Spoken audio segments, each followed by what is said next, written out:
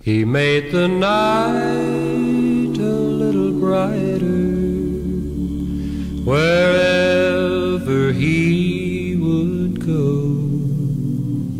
The old lamplighter of long, long ago.